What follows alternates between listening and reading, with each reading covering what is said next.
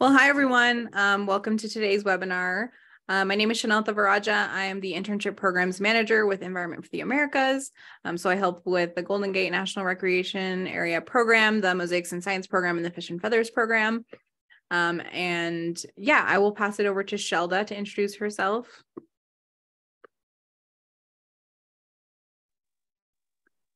Hi, everyone. My name is Shelda Diaz, and I am the Mosaics and Science Program Manager I'm going to pass it to our speaker, Kathryn Troutman. All right, then. there you go. Thank you very much, everybody. So glad you could come to the class. I am Kathryn Troutman, and I wrote a book for students, I don't know, 10 years ago, I guess. There it is. You have a copy of it, I think. I'm pretty sure you do. Students Federal Career Guide. And um, I wrote it because students need to have help if you want to get a federal job, the resume that you might write for private sector right out of college is going to be too short and doesn't include all the content that the human resources people need. My big came, claim to fame and how I came to be an expert is this one right here. I wrote the first ever book on federal resume writing in the whole world. Yeah, the whole world. and this is not just for students, it's for everybody. But what I do in my work is I own a company called the Resume Place.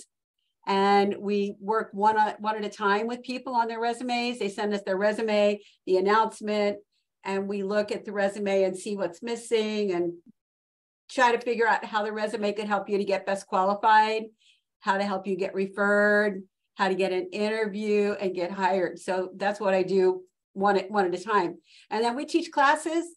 I teach classes with National Park Service and FEMA, Homeland Security, NOAA, everybody, PO missiles, all kinds of agents. Uh, everybody needs help with their federal resume because it's so different than the private sector resume.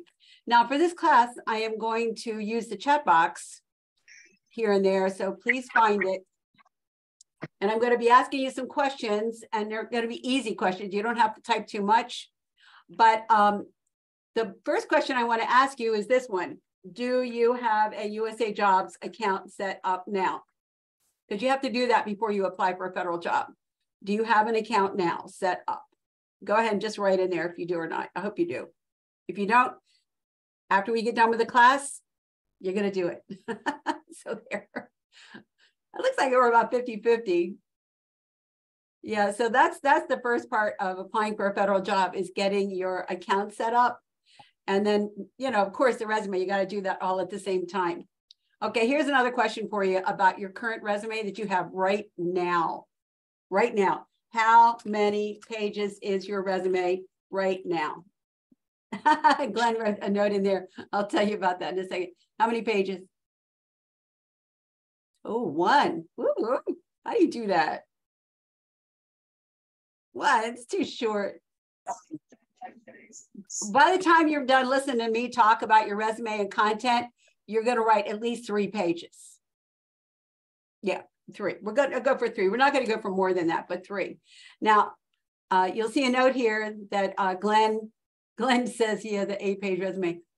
Um, Glenn Hooks is here in the class, and he is a uh, National Park Service recruiter, human resources person. And he just put a note in here. I don't know where it is, but he said, make your resume searchable. Hey, Glenn, can you talk?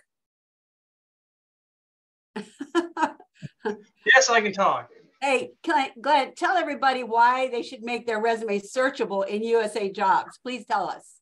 All right. As the lead recruiter for National Park Service, I have a team of four other recruiters, and we spend one third of our time data mining resumes in USA Jobs.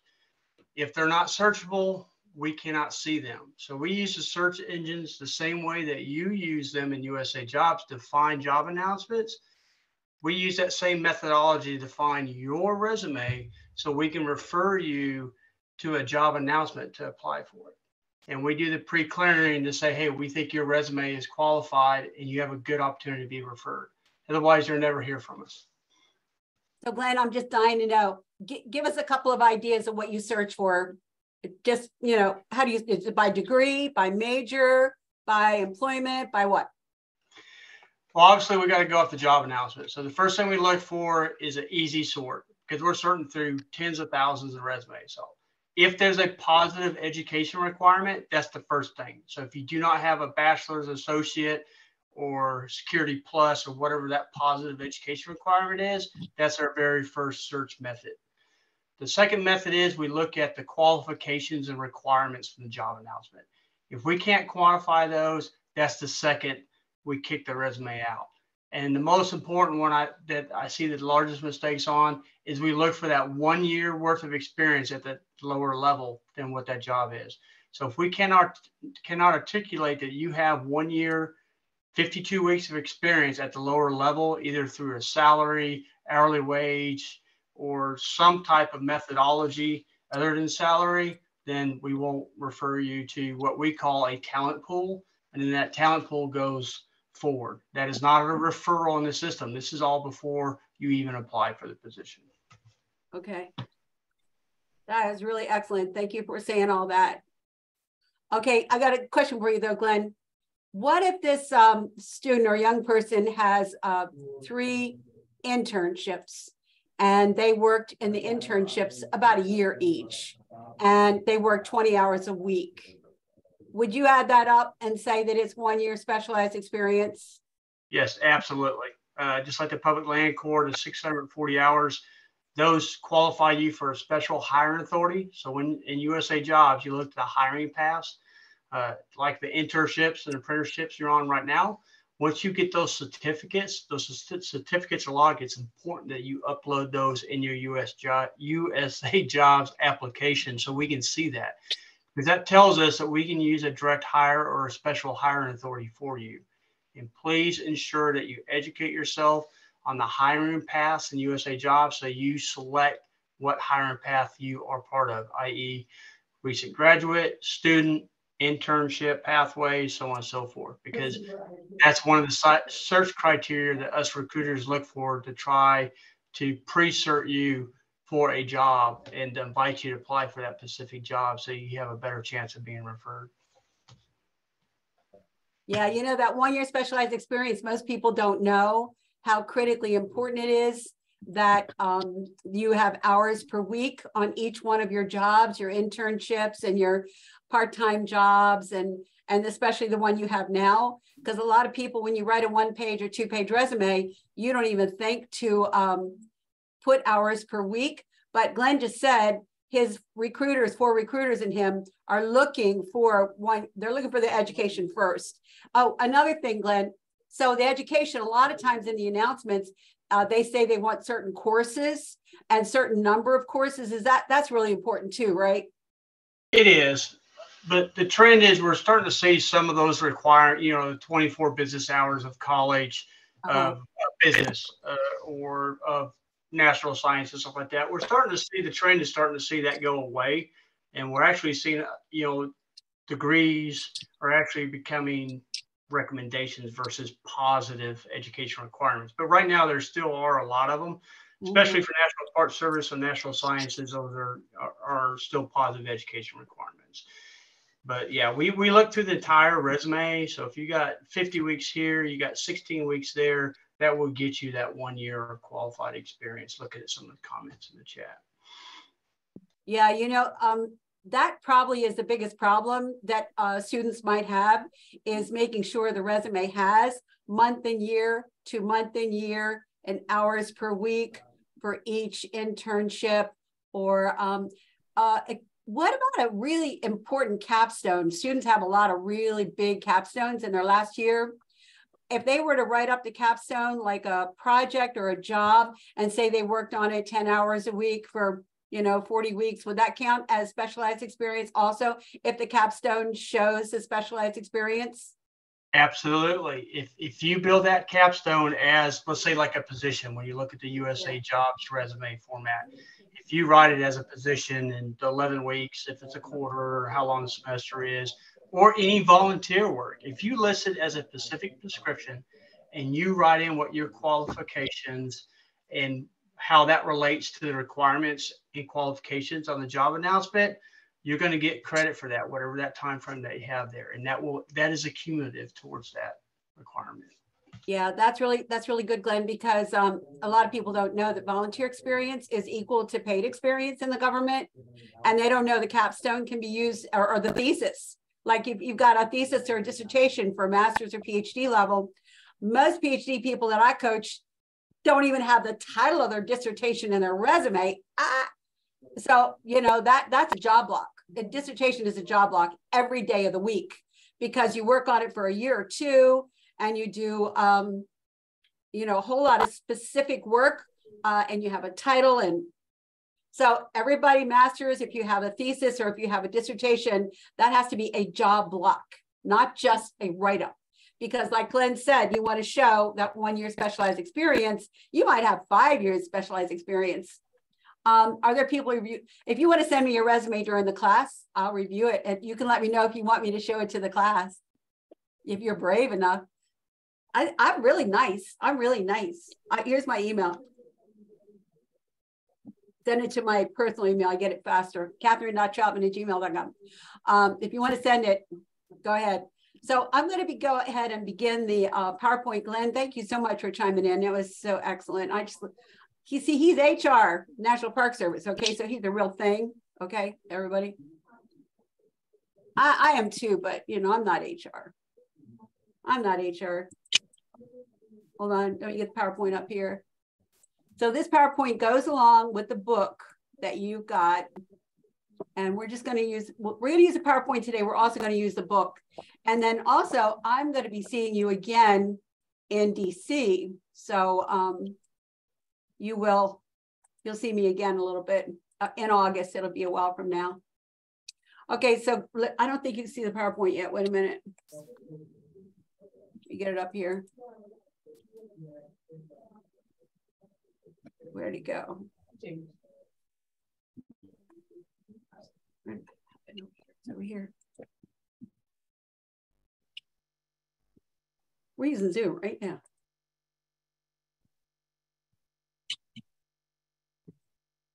Are we using Zoom or Teams? You you guys? Oh, it's Teams. No, it's not. Zoom. Sorry. there it is. I got it now. I got it. Here we are. All right, everybody. Sorry.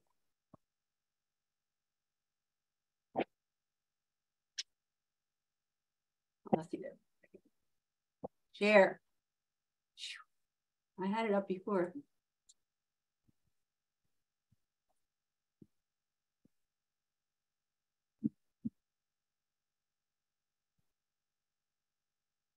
All right. Up and put PowerPoint up now. Okay, you can see it's the screen now, I think, right? Okay, we got it. Okay, so there are 10 steps to what's in the book. And in the PowerPoint here, the first step, we're going to talk about accomplishments and how important they are to add to your resume. And I hope you have your resume with you for the class because I would like you to be looking at your resume while we teach the class so that you can, um, you know, make some notes or um, because after we finish the class, you're going to have to work on your resume and change it. So I want you to be able to remember everything.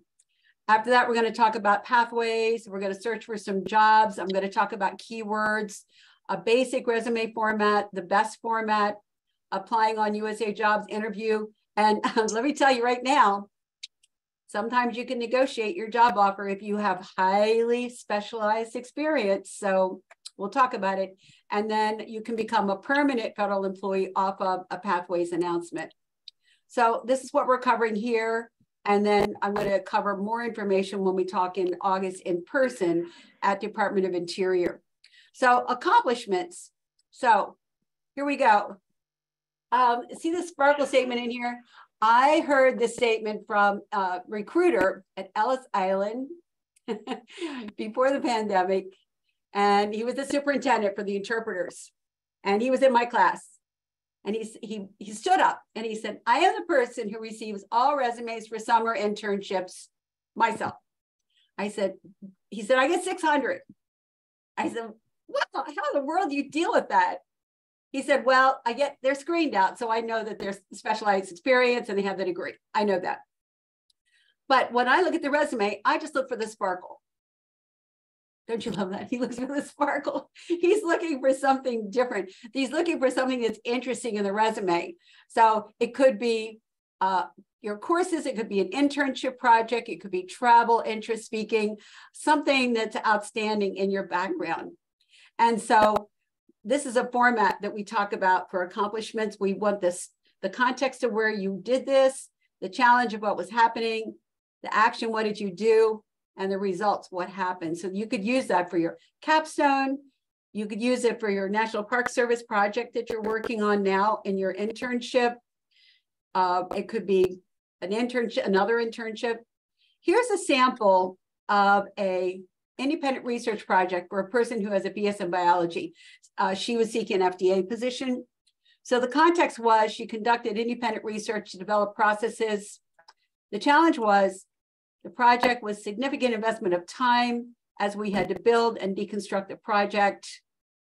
Actions were I managed the research team from beginning to end. We collected water soil samples. Results were successfully presented research findings at this symposium.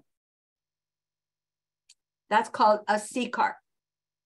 That's an accomplishment. And if you put it in the resume, that's what it would look like right there. It's short, it's not as long as what I just showed you. You probably don't have any independent research projects described in your resume now, but this could help your resume. It could show specialized experience. Now, if you want to show specialized experience for Glenn, you would have to add month and year and hours per week. Um, month and year, two month and year and hours per week to get credit. So if this person worked on this from uh, September of 2021 to January of 2022, and she worked on this for 10 hours a week, uh, that would be equal to about a half a year. No, about a quarter of a year. But that's what that's how you would get credit for it. So I would like you to look at your resume now and tell me if you have any project written up under education, we're talking about education now. Do you have a, a research project, a capstone, um, thesis, any, any project described from college? Just say yes, no, not sure, something. Oh, you do, good. Well, you know, you could have several. You don't have to have just one. That's how the resume becomes three pages is by adding the projects to your education and adding the projects to your experience as well. Um, I taught a class at Virginia Tech in Richmond a lot of years ago, five years ago.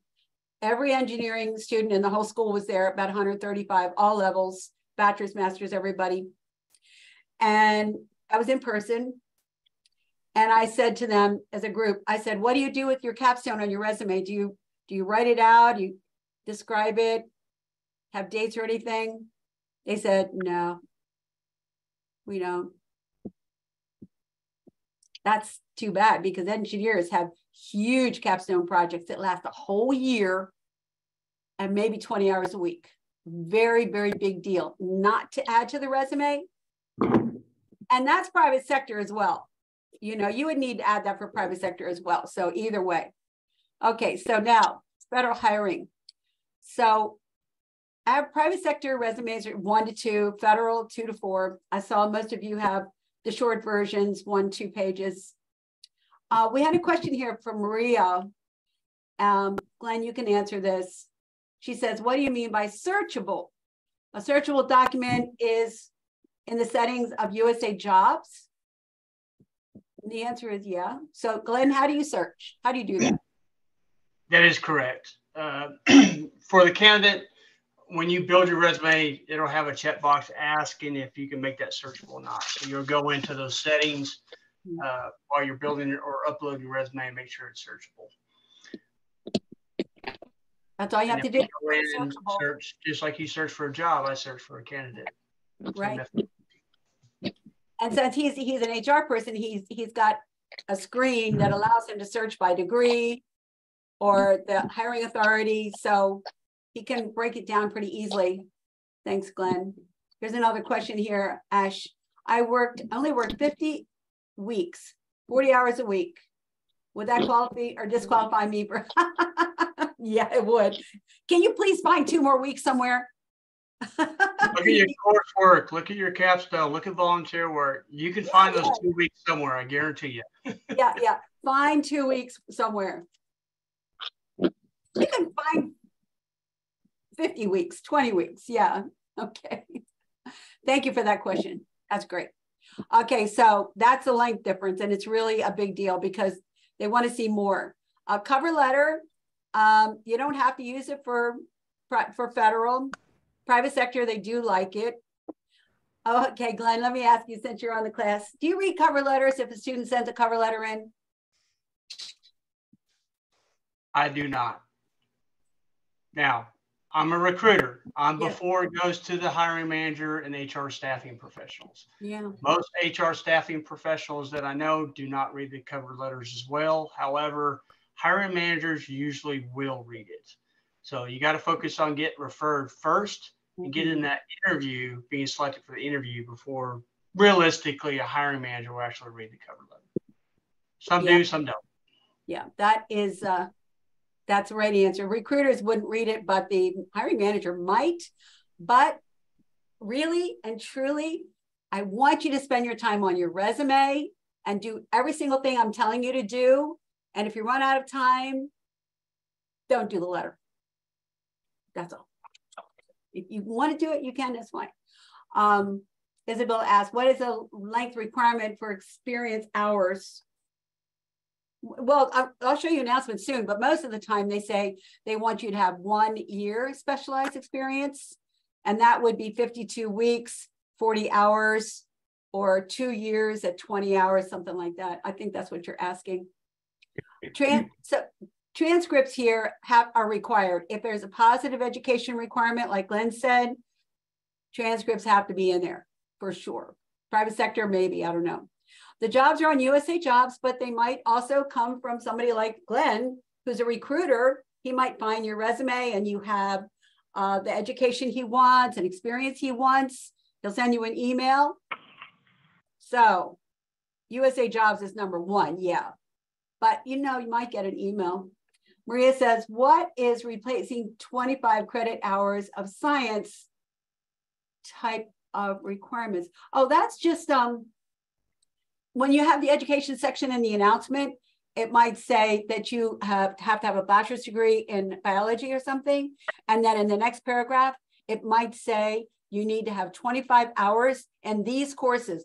And they'll name them one, two, three, four, five, six. That's what that is. It's not class, it's not working hours, it's classroom hours.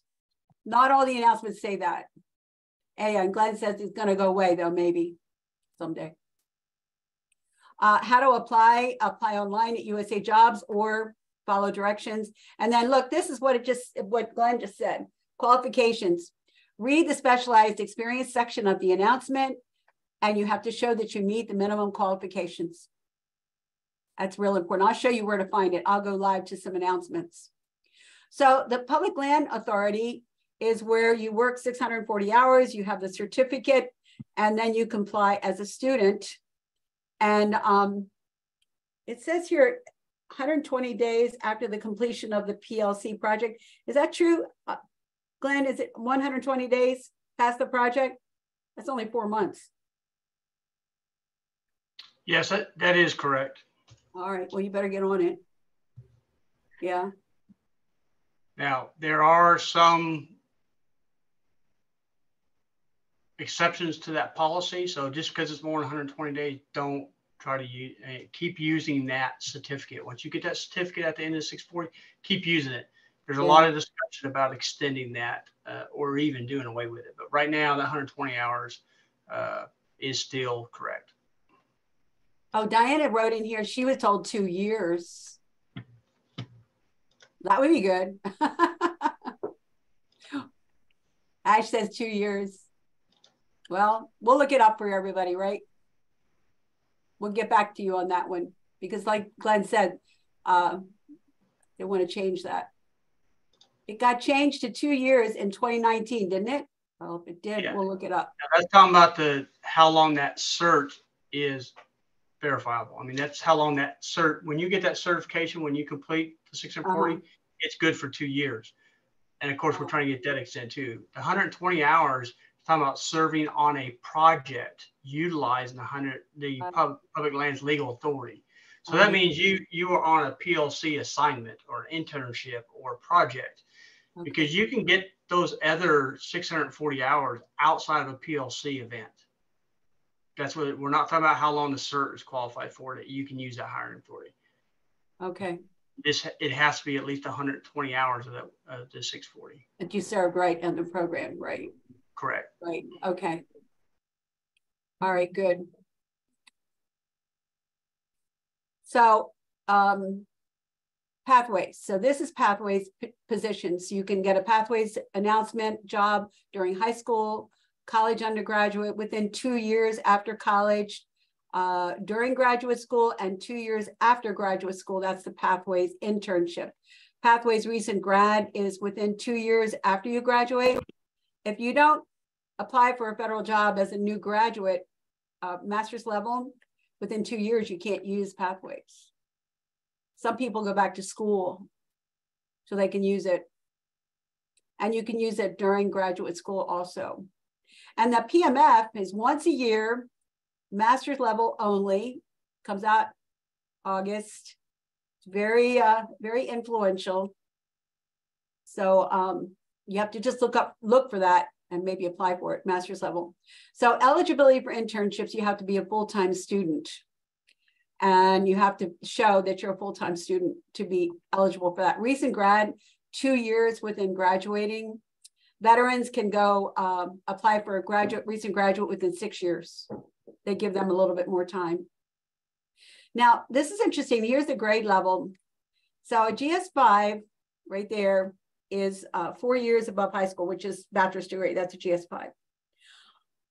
But if you are bachelor's level and you have a GPA of uh, 2.95 or higher, you can qualify for GS7. That's called superior academic achievement. So if your GPA is 2.95 or 3.0 or higher, be sure to put it on your resume.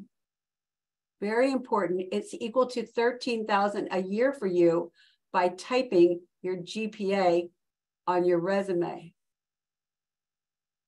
That's a really big distinction between the five and the seven. And then master's degree is a GS9 and the PhD is 11. And that's it for education, uh, education being required. So GS5 is bachelor's degree, GPA is less than 2.95. Now the jobs have to be open for the five, seven. So if you see a job that's open for GS5 slash seven and your GPA is three, five or something, you can apply for the seven because you'll qualify for it because of your GPA. Hey, Glenn, do you think they should apply for the five and the seven, or should they just skip the five and apply for the seven? If it's five and seven and the GPA is three, five or something, what do you think? Apply for both of them. I mean, there's no, the general thumb is apply, apply, apply, apply, apply, because you don't know. I mean, if you get referred to one, you don't get the other one, then because of your GPA, you may be able to negotiate uh, into a higher step. In rare cases, but in some cases you might. Yeah, all right. Uh, Tatiana says, I qualified for the seven, but HR said she couldn't. Um, wait a minute. So I, she accepted the five, okay. Yeah, the slides will be there. Okay, here we go. So there it is. Uh, for the GS7, you need the GPA 3.0 or higher or 2.95, they say. Also in the uh, membership National Honor Society could qualify you for the seven also. And then veterans preference, if you are a veteran, um, veterans preference does apply to pathways positions, most of them, unless it's direct hire. But so veterans preference is very, very strong for pathways positions and you can, uh, there is a preference for veterans. So if you're a veteran, upload the documents and for veterans preference as well as your transcripts and um, other documents. Okay, now searching for jobs, you can just go to pathways the jobs will come right up. I think I will um, go over to USA Jobs now. I, can you see my screen? Let me see. Make sure. There we go. Uh, let's do National Park Service. All jobs. You can see my screen, right? Somebody shake their head. Yeah, okay. Um, okay, we'll do uh we'll do students. There's only five jobs for students. Let's do land and base management. Let's do GS7. All right. 12. Only 12 jobs, Jeez. All right, well, that's how I searched. I searched for land and base management. There's only 12. And then I went to the uh, GS7. And let's just look at this here. So this is, um, oh, let's do this one. This is science or oriented one here in uh, Utah. Okay, so while we're here on the screen, oh, they're gonna close it after 100 applications. So whenever you see that, you should apply as quickly as you can. This is a queer seasonal appointment. Okay. Land and base management is not open to the public. Don't want to show you the one year specialized experience that we're talking about. So this is a GS five, seven, nine. So if you were to get the job as a seven, the next year you could be a nine. Now the duties here are not the specialized experience we've been talking about. This is what you would do if you're hired. But the specialized experience, let's see what the education is.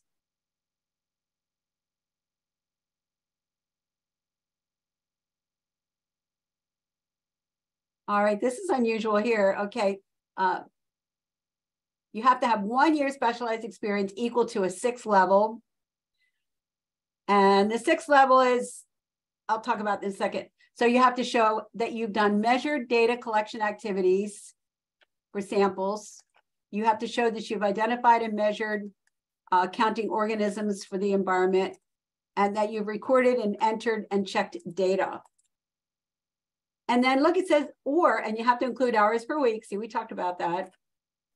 Or you have to have one year graduate education, or you can have both. So this is a job that is not positive education requirement for a degree because see the or there?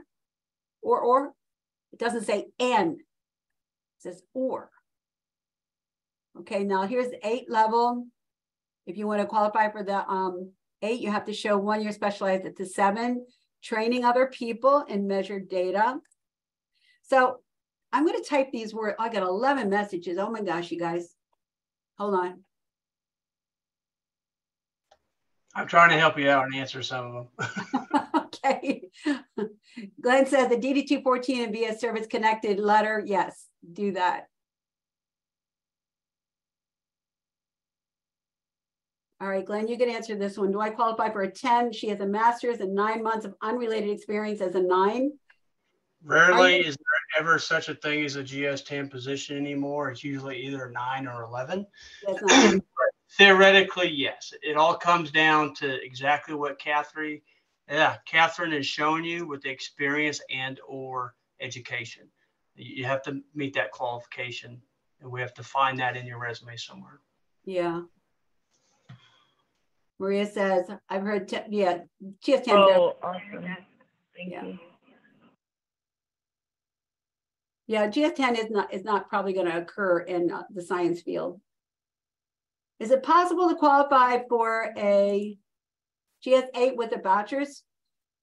Uh, no, no, no, it's a GS5 or seven if your GPA is three, five or more. The GS8 probably, you know, the only time a GS8 appears is if it's a technician kind of job. And I don't think you could qualify with uh, for a GS8 with a bachelor's. I think you would be a six. So I don't think you're going to see it too often. Uh, says, could you qualify, but but others would easily have more advantage over you with the master's. Yeah, it's true. Master's um, is very competitive. One year experience in any industry? Well, Kylie, so look at this. Look at the questions here. So perform measured data collection activities for physical and biological samples. So it's not really industry oriented, it's type of work oriented. So if you have measured data collection in manufacturing for physical and biological samples, yep, that works. Or if you've done it, uh, National Park Service in the field, you just got to say you've measured data collection activities. Or college labs. We've seen people use their college labs to, to show that. Yeah, that's right. Labs experience, right. Does federal work study count for something? Yes, it does, Kaylee. But you have to have uh, the title of your work study, where you're working, a description of your work, month and year to month and year, and hours per week to get the credit. That is a really big point we're making here today. Tatiana says, do I have to have my degree to start applying? No, you don't. You can apply right now. It does take months to get hired. It is a timing thing. Good luck, everybody. It is timing, I know, but you can start ahead. Um, here's, uh, let's see, let's do this one. There's a lot of fee people here. Oh, Park Ranger, Utah. Oh, let's do this one, BLM. It's a five seven. There are two vacancies, and it's open to uh, land-based people. Now, I'm going to show you the one-year specialized that Glenn and I have been talking about the whole time. Here we go. Your resume has to, your resume doesn't have to match all this. Just, just go past it. Right here. You got to have a license. Okay. That's a selected placement factor. That's mandatory license, which you probably have. There it is right there. Look, there's Oregon. Oh, Kathryn, you'll be surprised how many resumes do not state that they have a valid driver's license. oh, you will be surprised. I now, know. you probably, you probably so, so everybody, everybody in the class, be sure to type on your resume, maybe do name, address, phone, email, hiring authority would be public lands or internship, and then type valid driver's license in your state wouldn't that be a good idea, Glenn? Yeah, I'd recommend putting it with your your summary of education, certifications, yeah, credentials, right. and like that. Yeah. Yeah. yeah. Well, and those requirements up above, make sure you cover all those. Don't worry about the duties, like Kathryn said. But those yeah. requirements, if if you're if you're male and you've signed up for selective service, make sure you put that in there as well. That's a that's a rule. Okay, so here's the specialized experience right here. Okay, I'm going to copy and paste this into the chat box right there. Okay, now the words that Glenn and the HR people are going to look for are, I'm going to type it in the chat box. Look, um, explain regulations to park visitors, uh, information and advice on park activities, collect fees, issue reservations, and permits. Uh, maintain uh, facilities or trails, monitor special recreation permits. So in your internship that you've had here for the last whatever months, if you've done any of these, see those words right there I just typed? That's what you need to show. You have one full year of specialist experience equal to the four level, which is, you know, one level under the five that would be internship. So Glenn is really, really serious about you showing in your resume that you have one year specialized experience at this work. So you could get this experience from your internship, um, from uh, volunteer work. You might have done other work in the Park Service, volunteer, you probably have. And or, look at this, here we have an or, or successful completion of a four-year course and look, it says right there, 24 semester hours. Okay, now everybody listen to me. I know the transcript is mandatory that you upload it. Now you might be thinking, that they need to read the transcript if they want to see my 24 credit hours. Well, don't take a chance.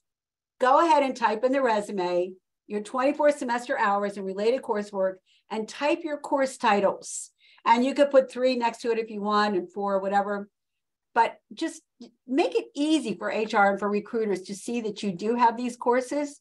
And under your education, your master's degree and whatever it is, or bachelor's uh, major courses, and type them.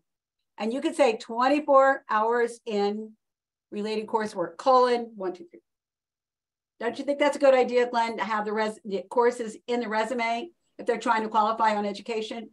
It makes our lives a lot easier. And I will tell you honestly, there's times where we make assumptions based on how many times we've seen transcripts based on a degree. So if you're in uh, uh, a MBA and it requires 24 business hours, I'm going to assume that you have those 24 business hours. Other recruiters will not. HR specialists may or may not go to that transcript, but I would not would not take a chance with relying on getting your transcript read.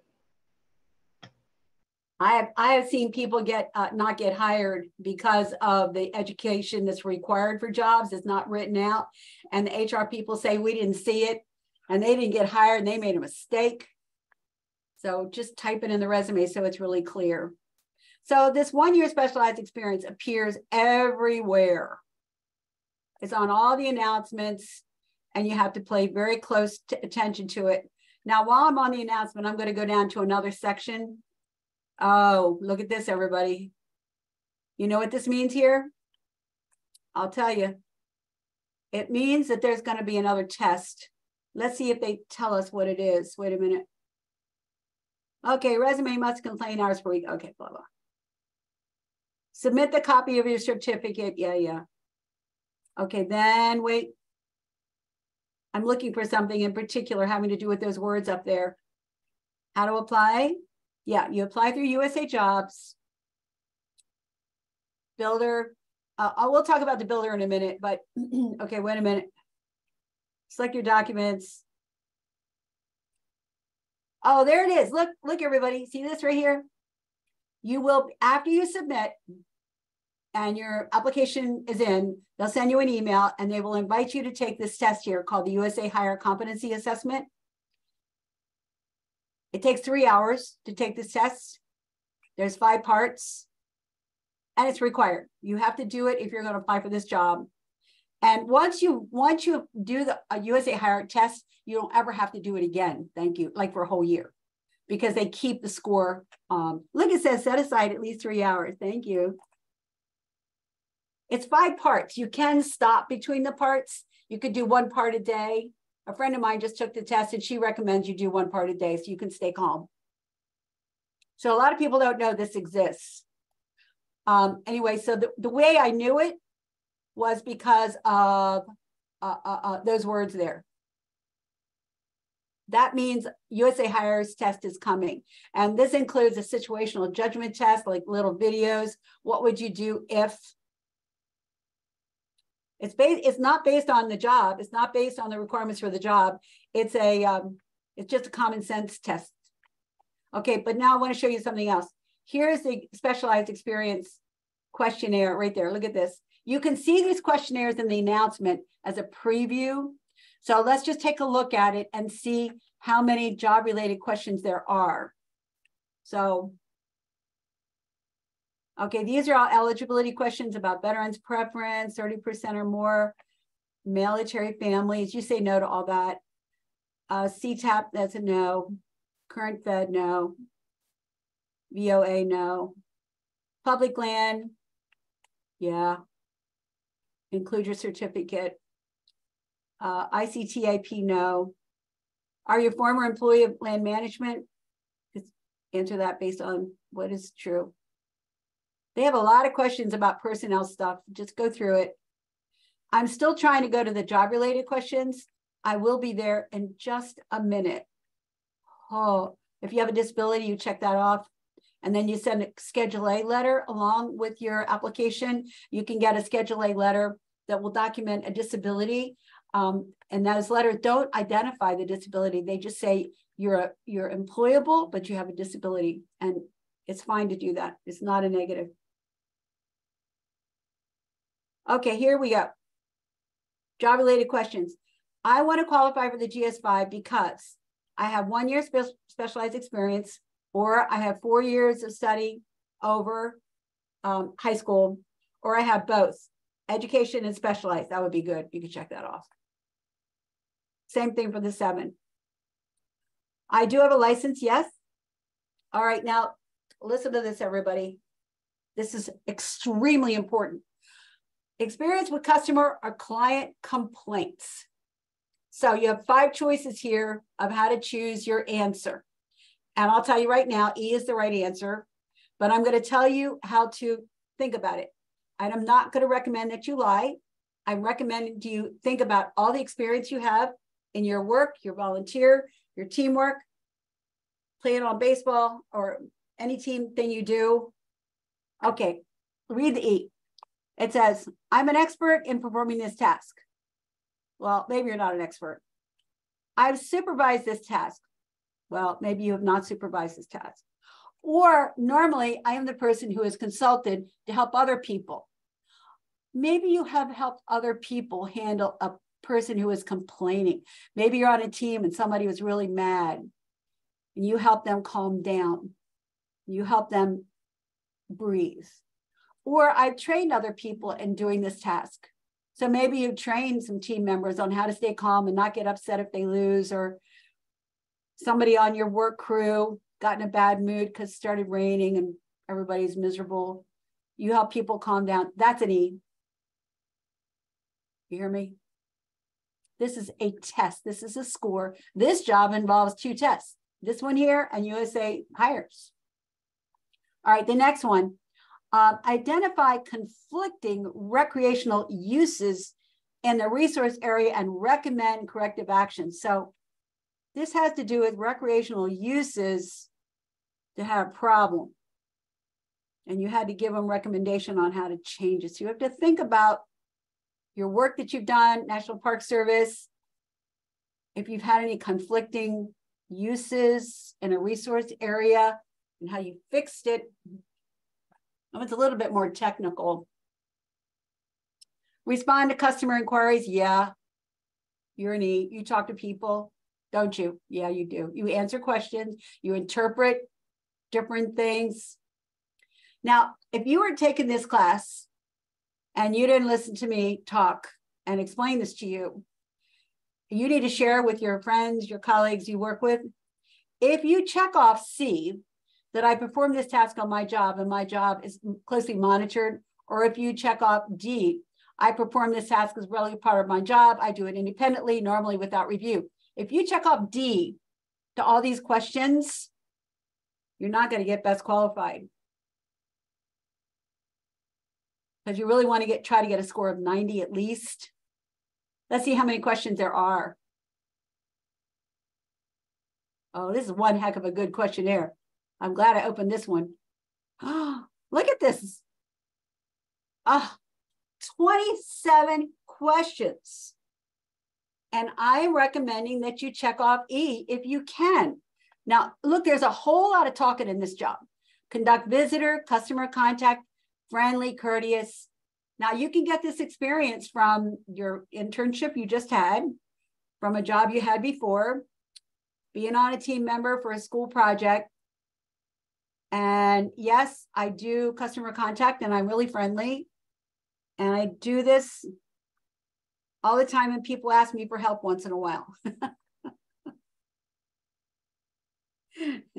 hey Glenn, isn't it isn't it crazy that this questionnaire applies to students GS five seven? Isn't it amazing? Because they they see this word expert and supervisor and then they get nervous. Yeah, you, a lot of this stuff is is so canned. You got to remember. I mean, currently right now I've got a list of 2018 positions that are open. So there's so many standard position descriptions and qualifying exams and questionnaires like this, and sometimes they don't get proofed as well as they should, or they're not catered to that specific because it's just easier to do a mass push like that and yeah. take the data analytics out of it and then and it actually gives you a better chance of being referred having more questions because it's a higher percentage of uh, there's a higher failure rate if you don't select all E's. Higher so. failure rate. There you go. So, since you're taking this class, and I'm here to tell you, try if you can to check off the highest level. I coached a guy, real high level guy, he's a 14, and he was absolutely perfect and like 15 questions, except for one. One question he had no idea. And he said, I don't know what to do. But his background, his education experience was perfect for the job, just perfect. I said, Well, it's up to you. I think you should check it off E. Up to you. He did it. He checked off E. It was only one question. He, he winged it. He did it. All right, let me answer some more questions here. Uh, Maria says, can you talk about the algorithm? I've heard selection takes the top 90%. Maria, every agency is different. Uh, uh, so I can tell you a couple. Fort Meade Army is 100%. Army Redstone Command in Redstone, Alabama is 100%. Um, Mechanicsburg has an Army depot. Their cutoff is 70. They're all different. You don't know what it's going to be. So you just want to try to go to the highest as you can. And uh, I'm now, I, I, mean, I, I saw the screen of an HR person for Fort Meade. I saw right on her screen. The screen was right here. She had the numbers of the questionnaire right down here, down the middle. I saw 100, 80, 70, 100, 90, 95. And she never looked at any job, any people's resumes, unless they got 100. So, you know, so here's the thing if you see a questionnaire and it has 10 questions and seven of them you cannot do. Don't apply. You're just not going to get there. You're not. So just look at the questionnaire and see if you can answer it. Gabriella, the way you get 100 is you check off E for all of them. That's how. So you have to say, so ability to provide information to the public. Well, all of you being just getting out of school, you're good at that. You talk to people, you train, you, have done capstones, presentations, it's E. That's how you do it. Um, yeah, all different from all agencies, that's right. Uh, Ash says, I was told once to think about the expert to the level of the GS to which you're applying to. You could do that. And still need to try to check off E if you can. The highest level. Yeah, I was leaning toward E if you can, yeah, right. Okay. All right, so that was really good example, wasn't it?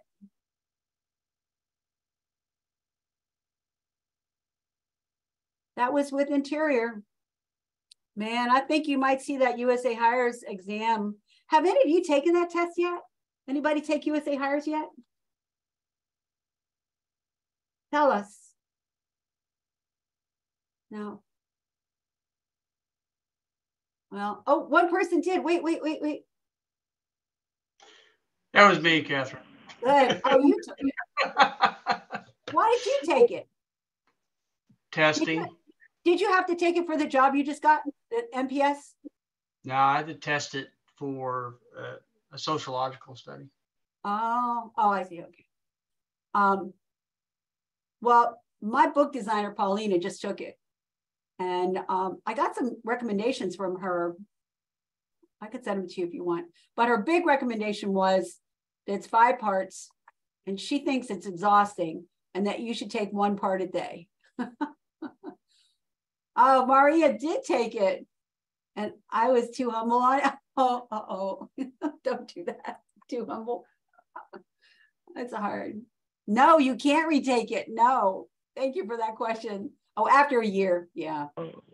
Meanwhile, oh, a whole year. I know. Ouch. I agree with that.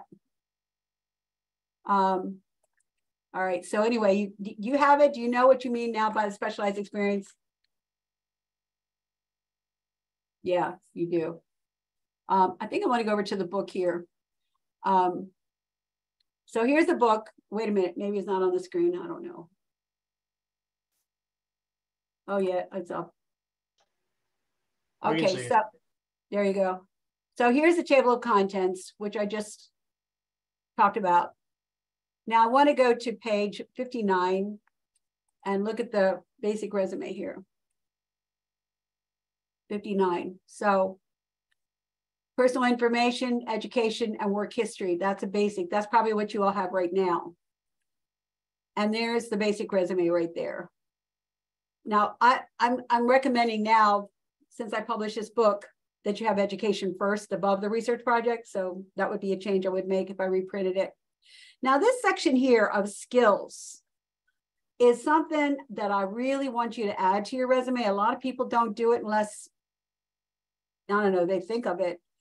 Um, she has skills in SOPs, laboratory standards, attention to detail, understanding of electronic document thing, laboratory experience, computer skills. So working for National Park Service, there's a lot of technical skills and knowledge and databases that you have that take a look at your resume, will you, everybody?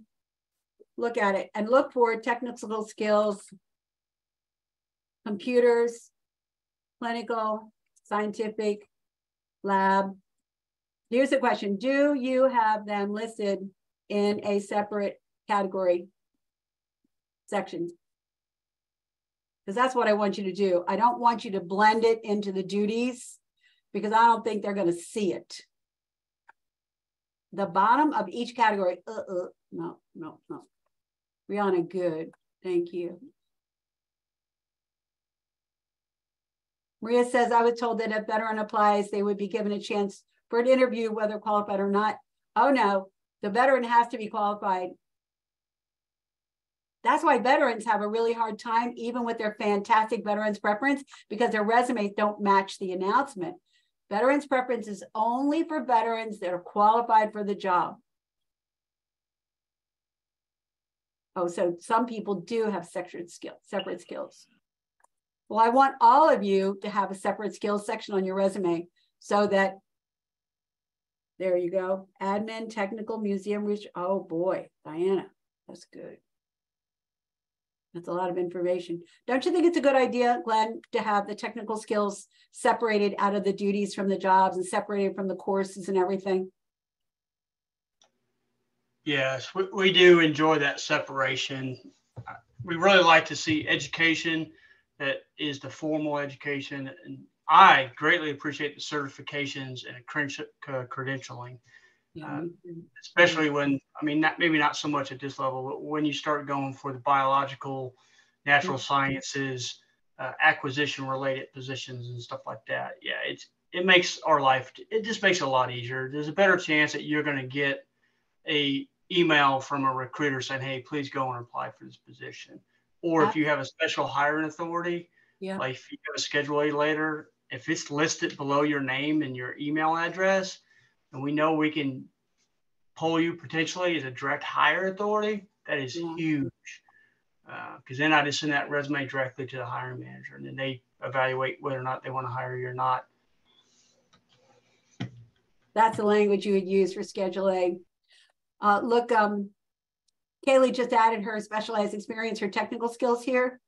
And she has environmental studies, anthropology skills, field surveys, uh, introductory language, species, communications, organization, writing, graphics. Oh, you know, if you've if you've got graphic skill, you need to put your technology in there, Adobe Connect and whatever. So make you can make that even more technical, but this is really nice. And you could add your specific uh, technical computer skills as well.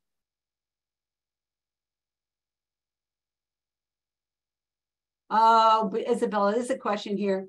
How is PLC treated compared to DHA? Well, I can describe DHA for you and then uh, Glenn can talk about PLC. Direct hiring authority for post-secondary students is, um, I'll just tell you a story. Um, I taught a class at a university and I was teaching resumes like this. And then DOD sent four recruiters to this school, tiny little school in Lynchburg, Virginia, and they were going to have a panel. So I went to the, uh, I wanted to hear them speak. And they were sitting there talking to each other. before the people, the students came in and they were saying, I love this DHA. I love this DHA. I can hire people right here. I love this DHA. And I said, what is a DHA? I didn't even know at the time. And they said, that's a post-secondary recruitment authority for students and post-secondary students, something. We can hire students right today, right now, in this room. If I have a job and they're qualified for it and the resume shows it, I can hire them right now. Wow, all right. so that's a post-secondary hiring authority. And um, for DHA, our resume will go somewhere else other than USA Jobs. Nope. Only if you go to a job fair. If you go to a job fair, you take your resume and you put at the top of the resume that you're authorized for post-secondary hiring authority. And then the recruiter, like those, those DOD people, they would take your resume back to work with them and then they will call you up.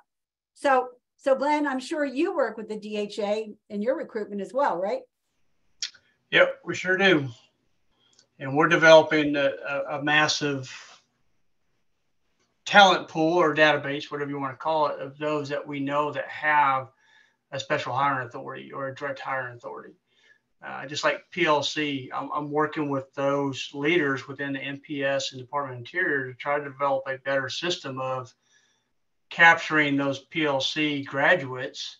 That way, I, as a recruiter, can look at them and, and offer them other positions outside of where, where they got their 640 hours or their PLC certification from. So that's coming. I mean, that's for the National Park Service, that is coming, but that's one of my big efforts. But yeah. Mm, I like that. That's good. Uh, Tatiana says, so we have a score of 90 plus on the test. Then my resume gets looked at and they see the DHA at the top. Well, I mean, so you applied online through USA Jobs. You got a score of 90. Um, can they get selected? The DHA is mostly used at job fairs or by recruiters, not so much USA Jobs. But that's a question. What do you think, Glenn? That they, they, they wouldn't use the DHA to hire directly competitive on USA Jobs, would they? Typically, if a job has already been announced in USA Jobs and it has a job announcement, it has to go through the entire widget. So it has to go through the classification. It has to go through the HR staffing, which is the grading of the resume. It has to go through that scoring matrix. Mm-hmm. And then the referral list is generated. And then it goes to the hiring manager for selection for interviews. Mm-hmm. So if it's on USA Jobs as a job announcement, it's going the full cycle. We yeah. as recruiters mm-hmm. research your searchable resume when a hiring manager says, Glenn, I need help hiring this natural science or biologist or you know i need an intern to, to, to fill our talent pool then i go out and search those resumes on usa jobs or i go to job fairs or i go to career counselors at, at local universities that are near where we need that person and then i gather resumes and I look at that resume, and that's the only thing I look at. Very rarely do I interact with individuals like this class. This is rare. I, I never do this anymore. I'm in I'm in charge of an entire national recruitment plan. So, you know, the days of recruiting going up and shaking hands is pretty much over. So, but we look at these resumes. If we said if we can validate there's a direct hire authority, we're going to dig into it deeper and we're going to look for that Schedule A letter. If it's not in USA Jobs, we pass you over. You're going to have to wait for the job to announce if we don't find the right candidate for the hiring manager.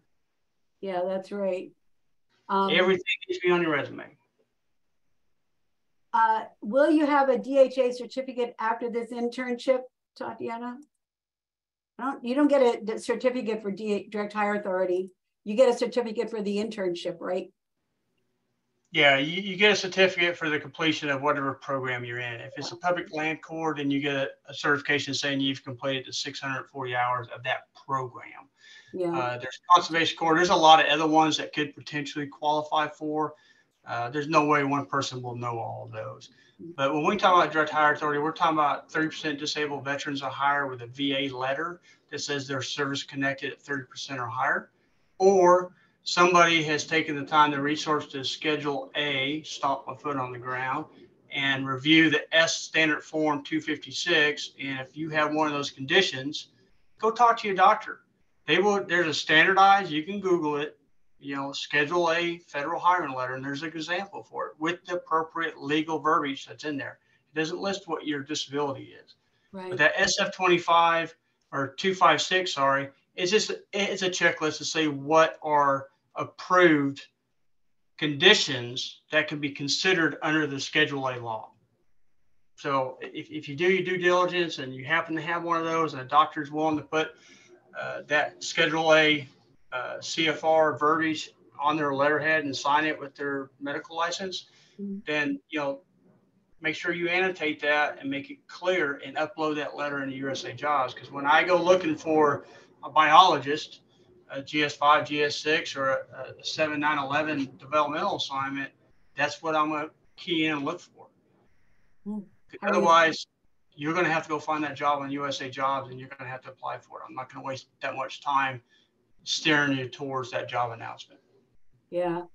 So it's really interesting to hear in this class that yes, you apply for jobs on USA Jobs, you do the documents, you do the assessment test and score highest you can. Then you might do the USA Hires thing. We don't know.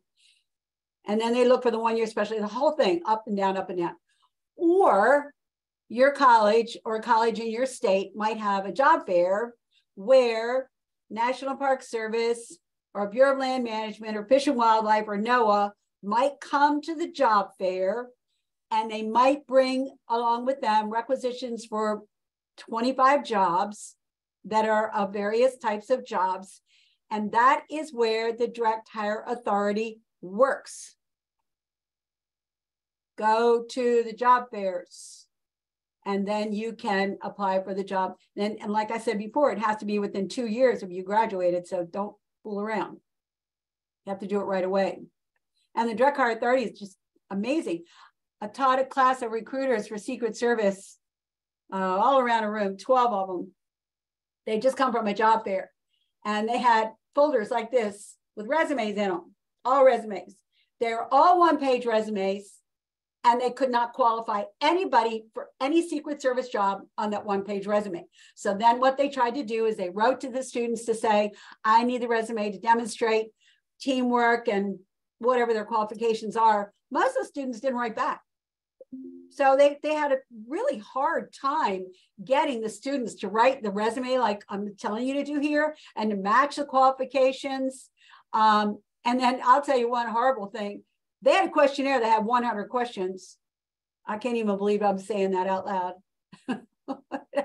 they weren't all job related though. They had to do with drugs and I don't know, a bunch of stuff. It was wild. But Hey, um, Kathryn, can I answer one question real quick? yeah, if you're in the PLC uh, certificate program, when you get that certificate at the completion of the 640 hour program, that certificate qualifies you for a direct hire authority. So within two years of your graduation, I can go and say, hey, this is a PLC graduate and your certificate's in the USA Jobs application in your profile, then yes, those that have the land management, if I can qualify for that, I will send that resume directly to the hiring manager before it gets posted to USA Jobs. If that hiring manager asks for me to go out and find that person. So that is a direct hire authority. It's not a DHA letter. It's your PLC PLC. certificate showing that you're eligible to be picked up directly. yeah. I hope that answers the question. Yeah. Ash said, is being qualified and having the right network, asking around. Network is really good.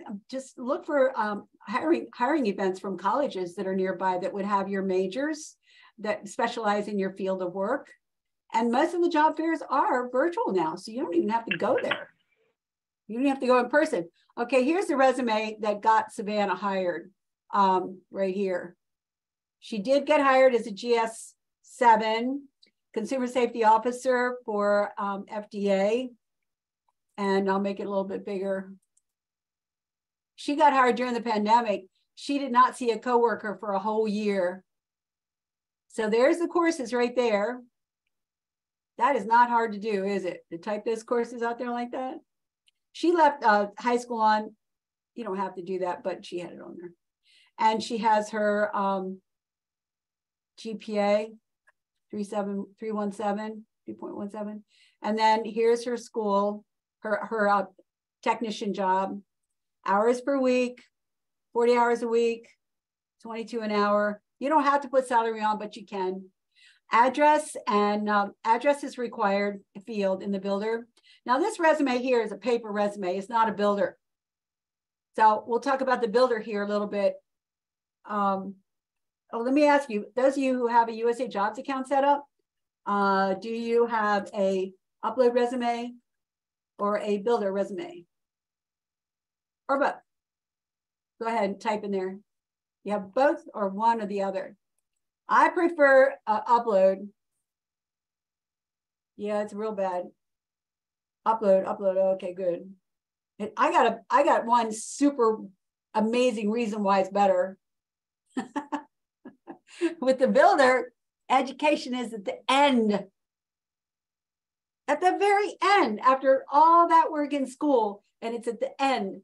So that, uh, that that's number one right reason. And another good reason is that when the managers get the builder resumes, the type font is small. Hey, Glenn, do you when you get a builder resume, is the type font still really small, or did they fix it?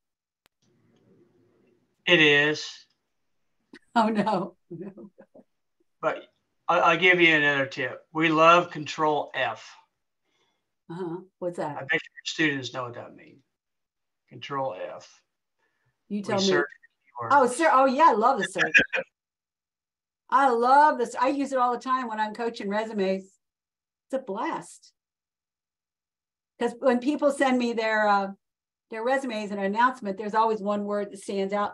Like this this one guy, he was a DoD military type type person, and he wanted to apply for a job at the UN and humanitarian work.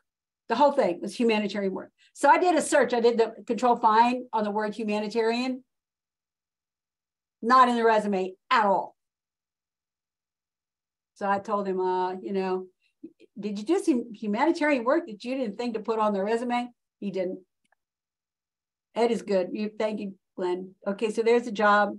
Now look at her skills section. That is beautiful, isn't it? Nobody has to look for this stuff. I'm telling you, when I see resumes, reviewing them, people do not do this. They blend their their R and all their fancy statistical skills in the text in a sentence in a paragraph. They're not going to see it. So I want y'all to do this. And then let's just look at here, the laboratory teaching assistant. So let's just say you were a coach for soccer or little league for a year or so and you did it three summers, 20 hours a week, that is a job block. It is not just a volunteer experience. You could put month and year, hours per week, the name of the team, and the fact that you did team leader and coaching and mentoring and interpreting laws and rules and regulations and coach people to stay calm it's incredible leadership experience. Nonprofit volunteer work is very important. Let me ask you a question here, everybody.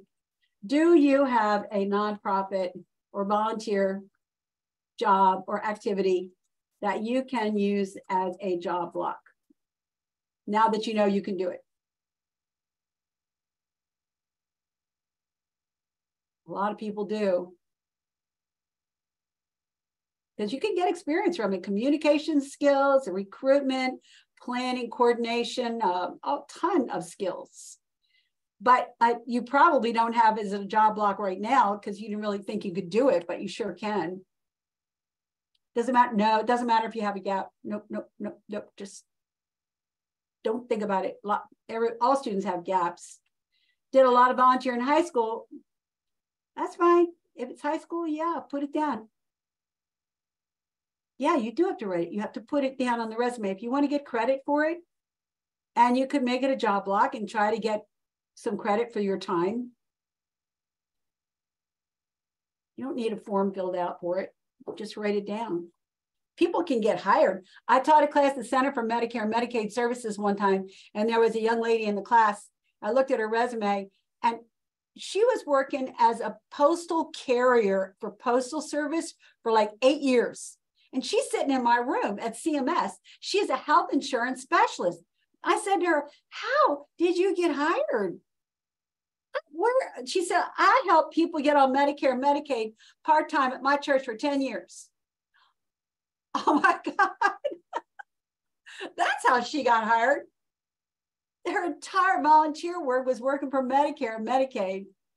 Incredible. I said, Oh, yeah, you do it. Well, Kaylee, yeah, don't put it under a separate section. You need to make it a job block if you want to get credit. Most people just say volunteer experience. and They do one, two, three, four, five. You're not going to get credit for it that way. I mean, if it's a tiny little job, go ahead and write it down like that. But if it's a really substantial volunteer thing, make it a job block. No, you don't have to have somebody sign off. No. Just say it, write it, write it. If you do have a reference, that's fine. I don't think they look for verification. No, they don't. No, just do it. Okay, so there's the resume. Now I want to show you a couple more resumes in the book. Uh, I have all the resumes on one page here. Look, page five. All the resumes are right here. So you don't have to wonder where they are. We'll look at page 65 right now at this IT person.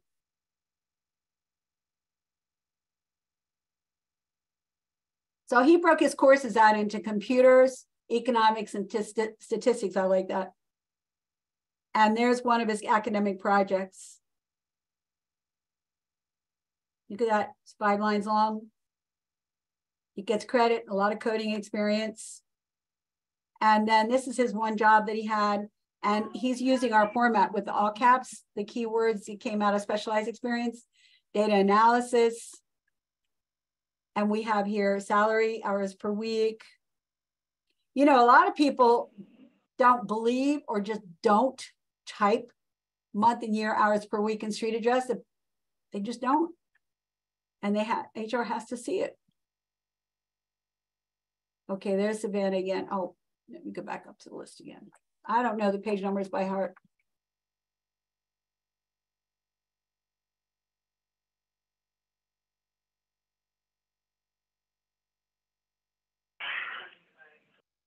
Let's look at page 78.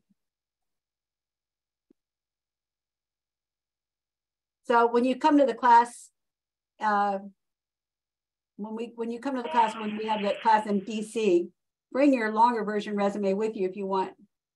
You can take a look at it. Can PLC contact the hiring manager or does the hiring manager contact people first? Yes. Yeah.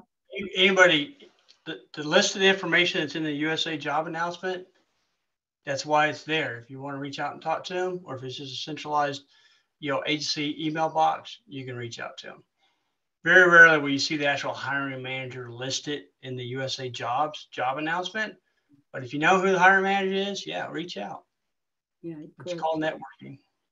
Yeah, networking, right?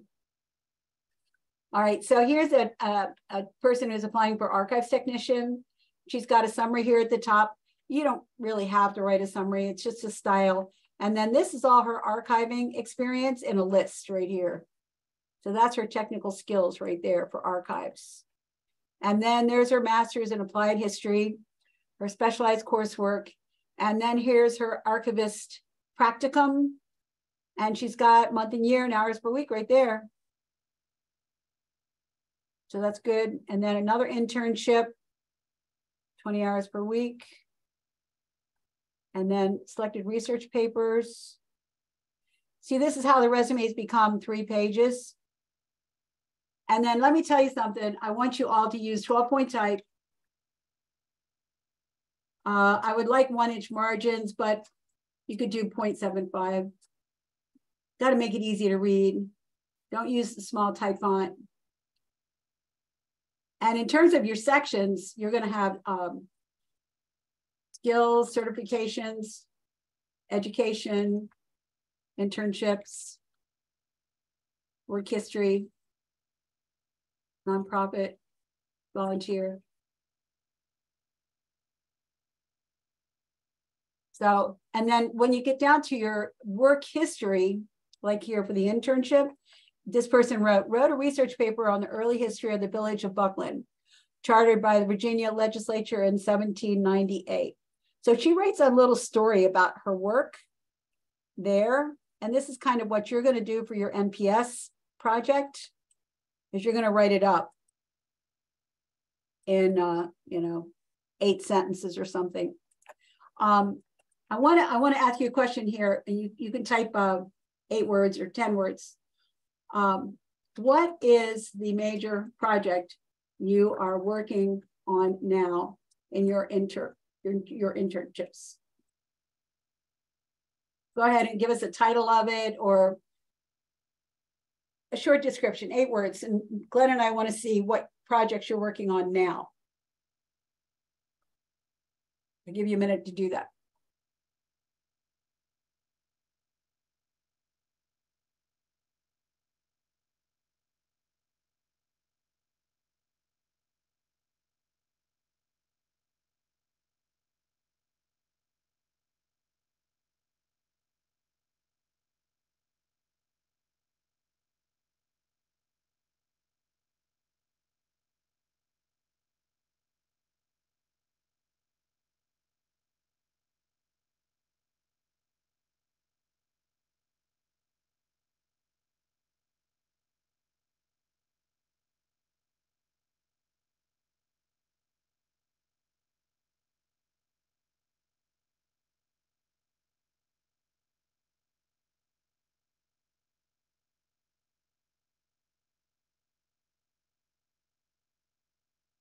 Guys are doing some interesting things. So all of these need to become a job block. You know that it's a job block. NPS internship, it's a job block. And then underneath the job block, you're going to write about your project. And as you can see here with this sample, the project is described in that many words. See that right there? Eight lines. That's not 12 point type either. That's too small. It's 10 point, I think. So you're going to need to write 10 or 15 sentences that will describe the project that you're working on now.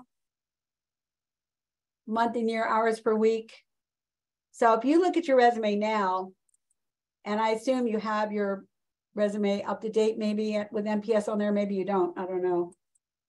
You better do it. You got to write it up.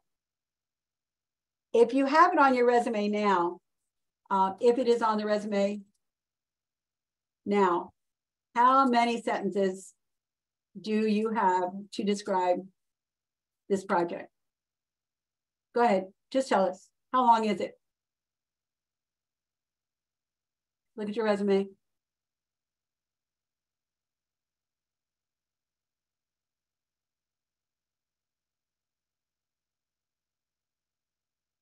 Three sentences eight, four, Ash has four. It's not enough, Ash. Ah, 13. That's good.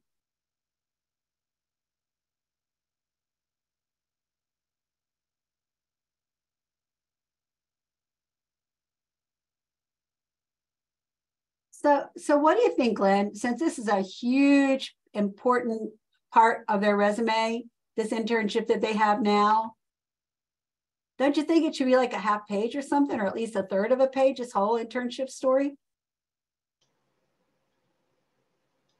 Yeah, I would definitely think so. I mean, depending on again, it depends on what job announcement that you're applying for, or just in general for a resume to have it in USA Jobs. Because, like I said, sometimes we're going to look at it and that's going to get you referred directly to a direct hire authority if you have, you know, once you complete this program you'll be authorized at. So it's not always going to be based on that job announcement. So if you put as much information in there and then you have you cater off of that towards that job announcement, then you're usually more successful. But yeah, I would think this internship should be probably closer to a full page if you're able to equate that to what you're looking to do. What is your purpose and passion? What are you going to want to do when you come out of this internship?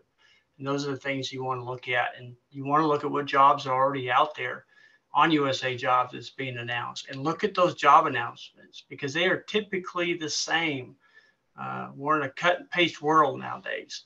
So people take things out of databases, they cut and paste it, or they automate it to, to make their lives easier. So if you see a, a job somewhere else, maybe not in your ge- geographical area, but you can use that to, to, to write your initial resume and keep adding stuff. You see four or five different jobs you you you have a purpose and passion for. You think after completion of of school or an internship, build a resume for it. Yeah. You know, just have them on standby. When the job comes out, post it. Um, I taught a class at Smithsonian for interns. Uh, they'd already been doing their internship, just like you all. They came live, like 15 students. Everybody had a one page resume. Every single person. It's just not enough content. That's why I asked you, how long is the description of your current project now? And Glenn just said whole page. I said a half a page. So you need to write about uh, the scope of the project, um, technical skills. If you work with anyone else, teamwork, description. You could write about the challenge of the project. I'm going to ask you a question about that. You could write about the actions you took, the research you did, uh, the results of the project, the success of the project, uh, the value of it, purpose. I mean, a lot of stuff. So here's, here's a question for you, get you think about your project. Here it is. What has been the biggest challenge of your project that you are on now? Just write eight words. What's the biggest challenge of this project that you've been working on? It could be people, money, place, I don't know, technology. Biggest challenge. Could be first ever, you're creating the whole thing. The challenges are really good for resumes. Lack of previous research, right? Accessing data.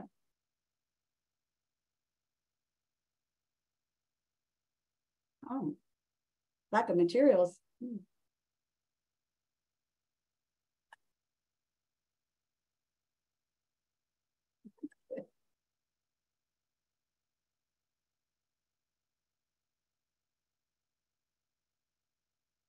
These are good. Remember I told you about the CCAR, The context of the story, the challenge of your work, actions that you took, and results.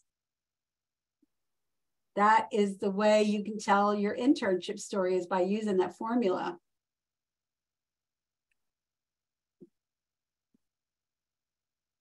The first ever for the region, yeah. Make sure you say that schedule, working with the schedule, it kept changing.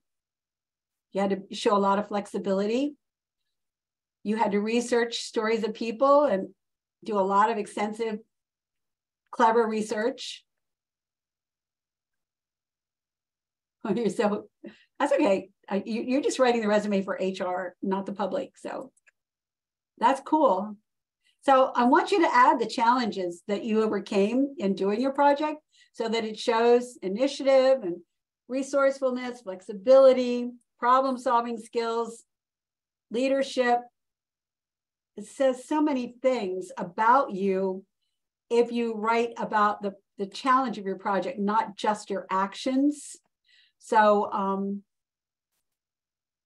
you know, I, uh, I have accomplishment I can email to you. Oh, let's see. I was at the National Military Park in Vicksburg, Mississippi about two months ago, teaching the same thing in person. And I got a chance to take a tour of the whole military park, which is hundreds of acres. It was fascinating. And um, historian took me through two hours and he, he was in my class. And I, I interviewed him in the class about an accomplishment that I heard because he was in the national park, he was an interpreter. And um, he told a CCAR story in the class about one of his positions, a National Park Service position. And I'll, email it to you without his name, but he was uh, part of the NPS to set up the Shanksville, Pennsylvania 9 11 National Park. Yep, the original team. And he had to set up the park with no building, there's no building there. He had to do with audio and uh, words. And he had to be very considerate of the people who lived through the 9 11 and people who are younger and didn't know it. So that was a challenge of writing the interpretation. And uh, he produced it and wrote it. And um, no building. He says that was a challenge. It was no building. He couldn't put anything in a building. It wasn't pictures. It had to be all words. So that was a cool story. And um, I can send it to my coordinator and I'll, I'll send it to you because it's it's a very uh, amazing story. And you all have interesting uh, Park Service stories too and challenges. You really do, but you got to write it down uh, or it's not going to be there. So, um, so Glenn, when you see a resume, NPS resume, it's good if you see some details of an NPS work or project, isn't it? Isn't it good to see some background and some content? Absolutely. Uh, again, you know, I'm, I'm the recruiter, I'm the pre-screener. So I look at it and, and when I see that, if I see there's already National Park Service experience, and keep in mind, I've been a DOD recruiter and HR with the Department of the Army as well. So we all kind of look for the same things. You know, mm-hmm. we all look for what's on the job announcement or what skills or competencies that we're looking for or if there's education or a certification, we want to look for that. If we see that they've already have experience with the National Park Service, we are going to spend more time on that resume pre-clearing it. I mean, I hate to say that, but it's human nature. We see that, oh, okay, wait a minute. Oh, I can align this. Remember, I got an Excel spreadsheet of 2,000 plus jobs I'm trying to fill. Yeah. So if I see something that says National Park Service, I'm going to go back. I'm going to do spend more time looking at resume and see if there's something I can refer them to, or if I can just hand their resume off to a direct hire authority. Yeah, that's right. Yeah, I, I, the content is so important in the resume, and and new grads. That's why I wrote a whole book for new grads. Is that new grad resumes are too short mostly. If you go to Career Center at your school and say, "Let me see some samples," they're going to show you one or two page resumes, and that's it and that's the problem here with, um, with these resumes, they need to be longer. Let's look at page 92. Oh, there's a cover letter sample there.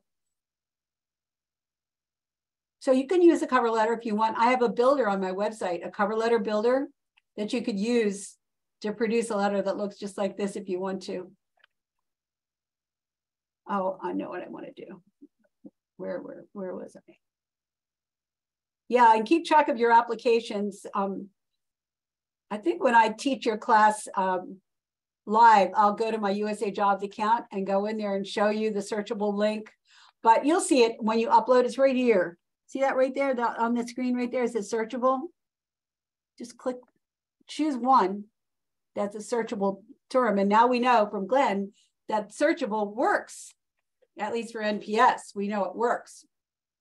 It works for NASA too. They use it. Not all agencies do use it. They should use it. If they have specialized experience and knowledge, then they definitely should use it. Um, let's go back and look for another announcement. Let's do, um, let's just type in biology. See what comes up. Uh, okay, wildlife biologist, BLM. Let's just see what they want. This closes 614. GS12 Medford. Land base is here. Okay, going down.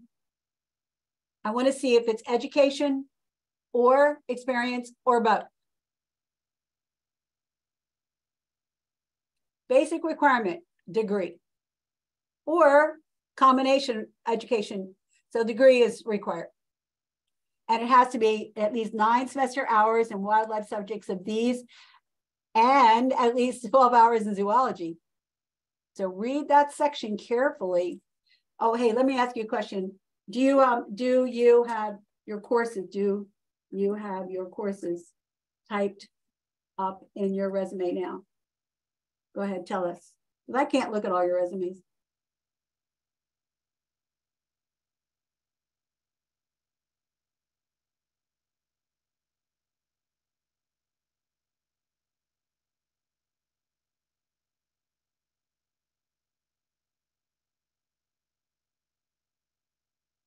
Tatiana will answer that in a second. just related ones. That's okay. Well, make sure you type the course titles that are relevant for the job. Okay, then um, additional requirement is here. And see the and with the stars?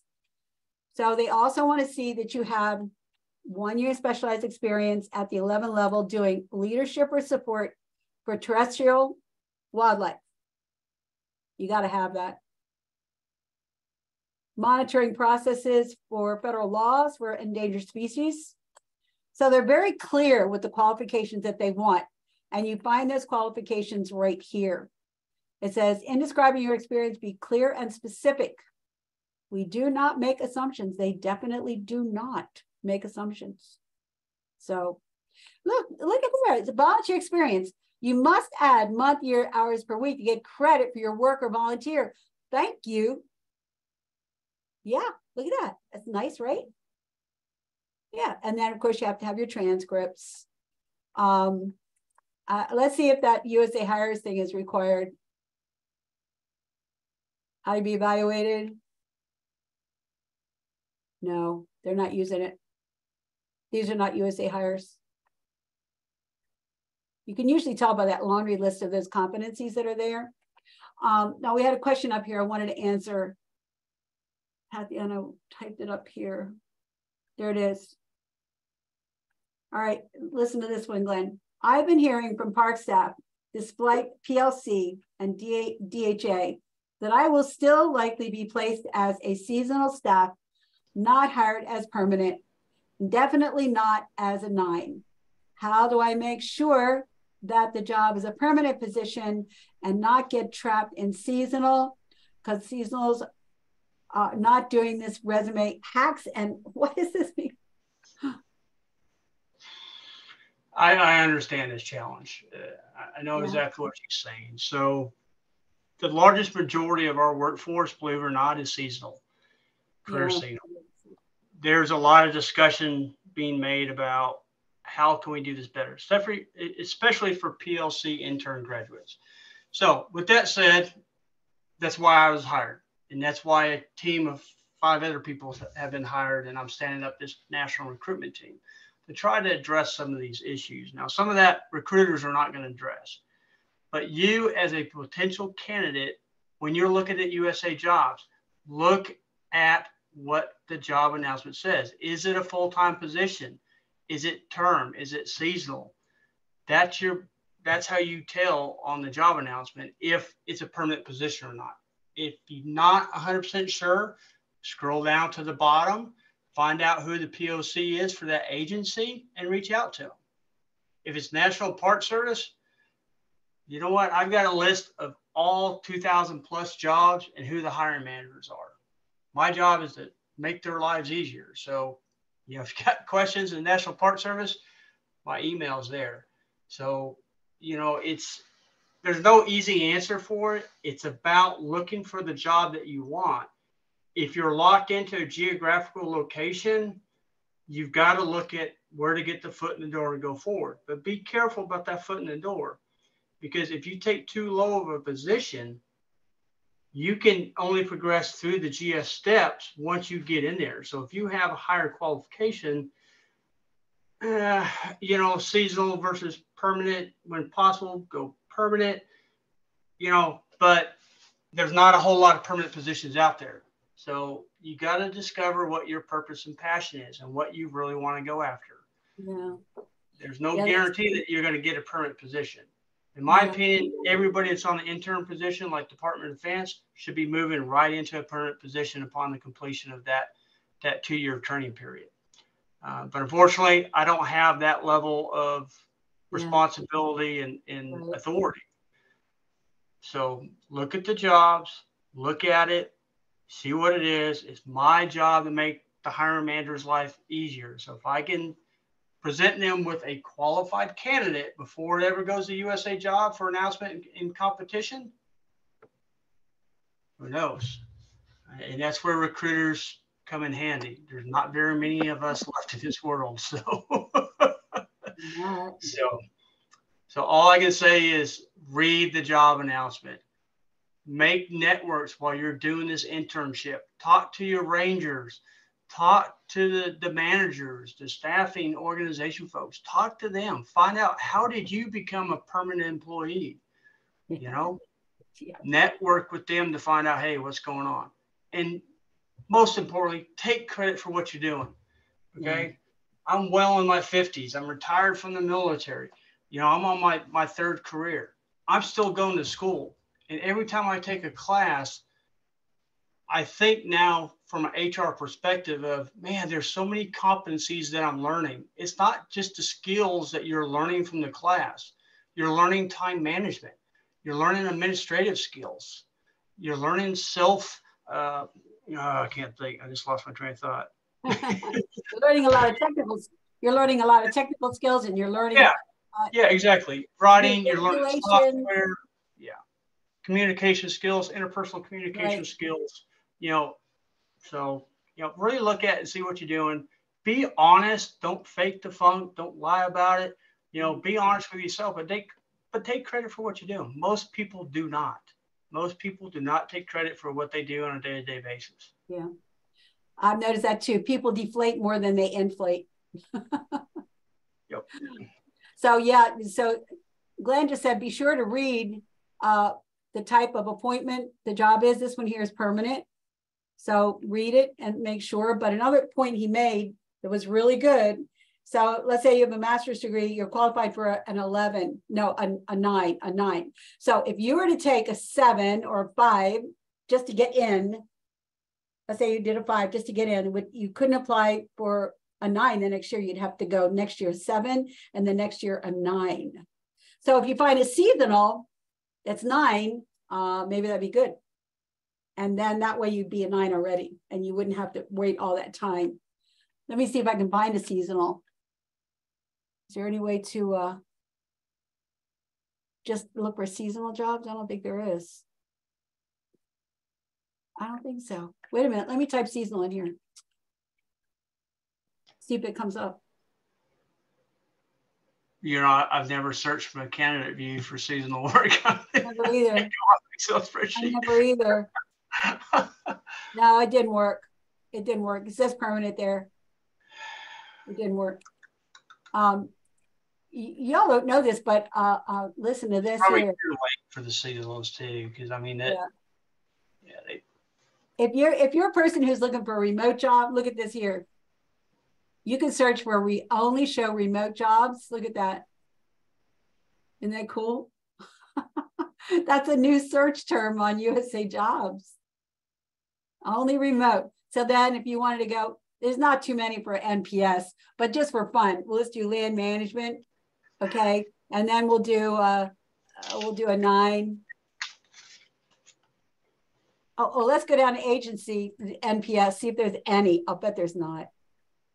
What remote positions? Yeah. No, There not. are.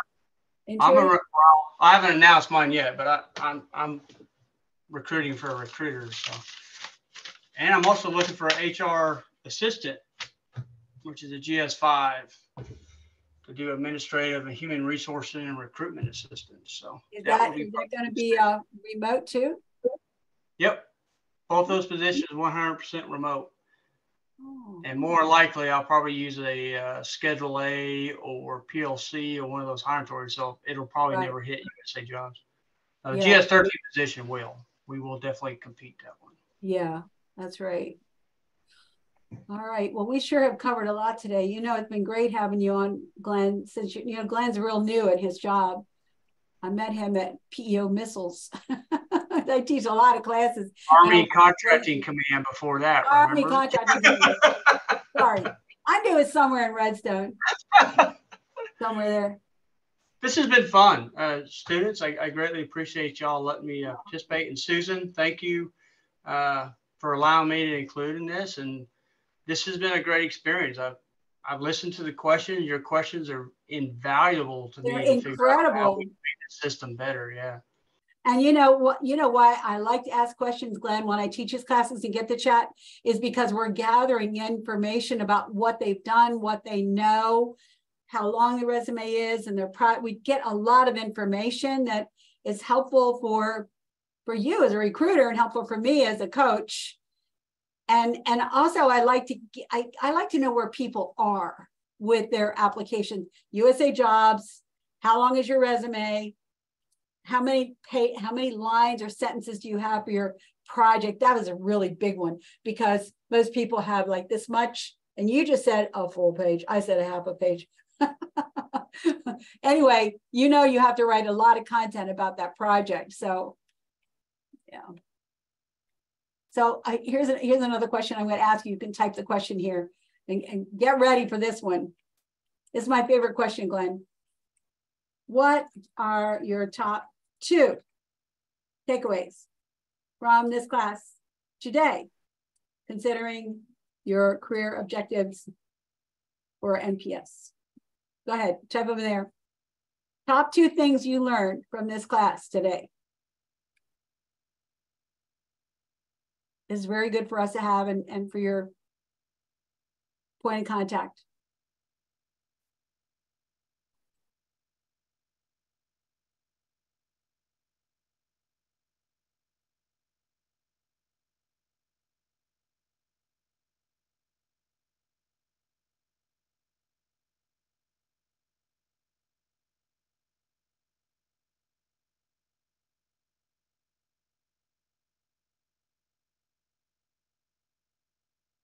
Yeah, add, click off search.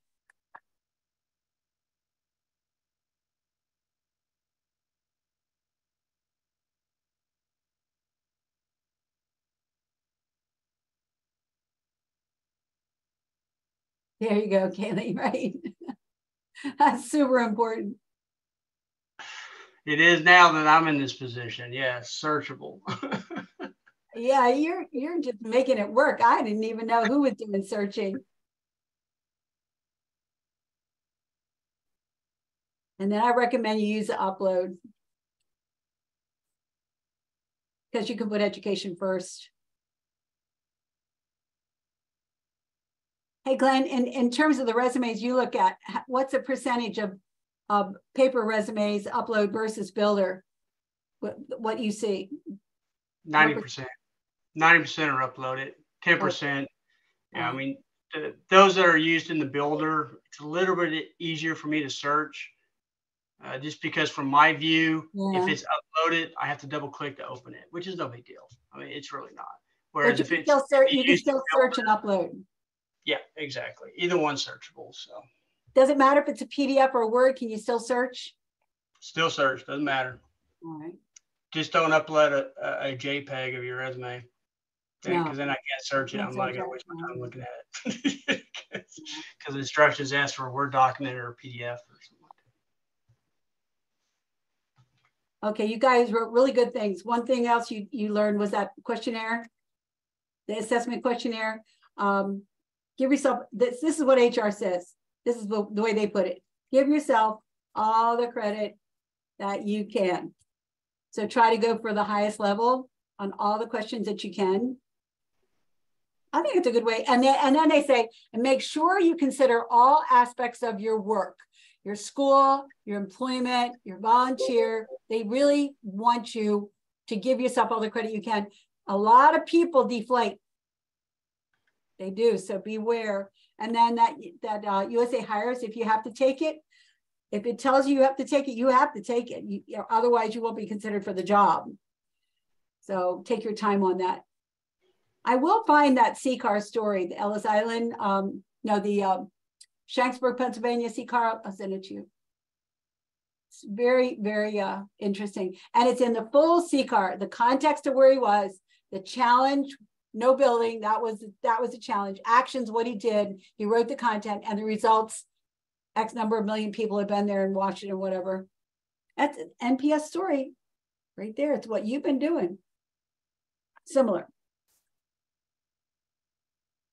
So Glenn, do you have any more comments or recommendations that you would like to give to the class? I think the biggest thing is sell yourself. Don't be afraid to brag on yourself. Keep it short, sweet, to the point, but use that CCAR method. It's a great method. Or you could use a STAR method, any of the number of the storytelling. It's so much easier to read a story than it is to read a bullet. You know, a bullet comment, a bullet sentence, you know, and be sure that if you have a direct hire authority, PLC, you know, that stuff, make sure it's up front in the very top below your address, email address, telephone number. It makes life so much easier. If you want somebody, I've put two email addresses in the chat. We are a strategic national level recruitment team. We don't really service individuals. However, I am working on building automation pieces. So if you want to send me your resumes as you get closer to time to graduate, I will, I don't throw away any resumes. So as I develop this national recruitment team, I'm going to find a way to store those resumes and be able to pull them up to provide to hiring managers. But still, the most important thing is to build your profile on USA Jobs, upload your resume, whatever supporting documentation you have, your transcripts, your Schedule A letter, your DD 214, whatever you have, upload it. It's just there and easy to go. And you'd be surprised how many people are looking at that resume and those supporting documents without even a job announcement being there. It's only going to get more and more as we get more and more competitive for, for candidates, especially those that have the experience and expertise or that training because our workforce is my age, Kathryn's age. They're getting close to retirement. Mm-hmm. So we have a huge gap in knowledge management between people that have more than 10 years of experience. Mm-hmm. So that hiring, hiring, you know, pendulum is going to swing to another side and, and we're going to have to start filling these positions. So be patient, apply, apply, apply. Thank you, Glenn. And then also don't make a short resume. It needs to be three pages. Use the upload 12 point type. Make it easy to read for HR. Look at the samples that are in the book when you get a copy of it. And um, and tell stories. Your your current uh, project that you're working on now, or your capstone, or your thesis. Those are uh, examples that you need to detail, not just quick little bullets or whatever. That's why the resumes in government are longer because they need more content. I am just thrilled, Glenn, to know that you are searching for candidates. It is so awesome. this is the very first time I've talked about searching resumes in a class. Do you know that? The first time. Well, I'm trying to get out in front of everybody else. And since I've been with DOD and I've been with PEO Missiles of Space, I kind of know what other people are doing. So I had to find some new strategies out there. I found one right in front of my face. it's really amazing. And your emphasis on the on the um, the hiring authority is really important. The direct hire authority and the Schedule A or the PLC. Add that information at the top of your resume after your name, phone, email. Type up your hiring authority that's there and if you want to do a Schedule A, see your doctor, you can Google Schedule A. It's all over the internet. Yeah. And uh, your resume is key. The resume is key because, like Glenn said, like 10 times, and me too, resume has to show the education, the courses, and the one year specialized experience and the words from that paragraph in your resume. So we've said it a bunch of times. Um, she's somebody has a question about talk later about DoD possibly working for CEMML. What's CEMML? Good luck. Well, DoD. All right, I'll take off my NPS hat. I'll be fair. Okay. as a sophomore in college, you should be applying for internships with Department of Defense or any federal agency because you can work and get paid as an intern as a junior. So there are student internships out. There. Oh, I love that golden. I got goldens myself. but anyways, you know, now's the time to get out there and start reaching and making those contacts with DoD. You know, apply, apply, apply, apply. Read, read the job announcement. Yeah, the pathways announcements are really, really good. Um, if you know about them and start going you know, as young and early as you can. So, well, I'm all finished with the class today. Thank you very much for attending. Um, here's my email. You can use my personal email. Uh, Glenn, what is your email? It's not in there, I don't think. Glenn It, it was there. No, it was there. It was there. It's in We there. it. Okay. Yep. okay. there it is. All right, Okay, we got it. I'm not bashful. I think it's in there five or six times. Yeah, all right.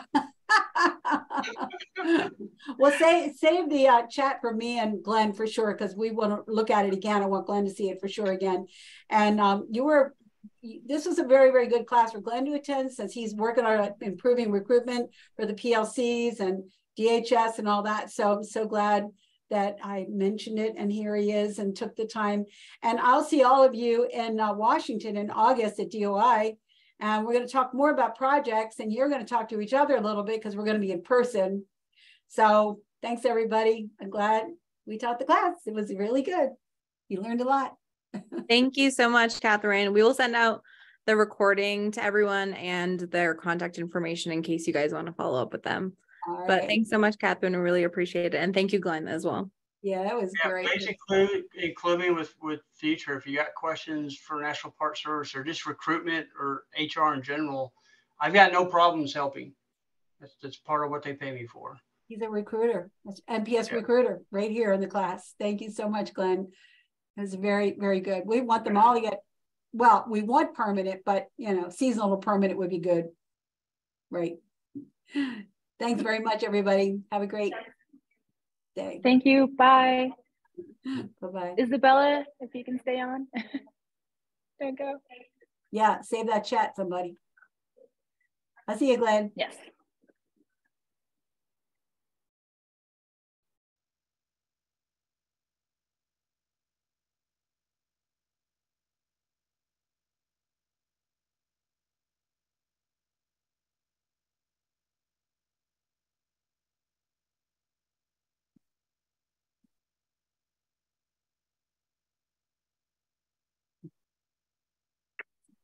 That's great, Glenn. Thank you. Thank you so much. That was really good. Yes, Kathryn. Very good. Thank you. Yeah, a lot of awesome. I love the recruiting angle. Wow. Yeah. Oh, yeah. oh, he's only had the job like six months. He's new. Oh, wow. Yeah, I I- love it. He's working on the PLC to make it better.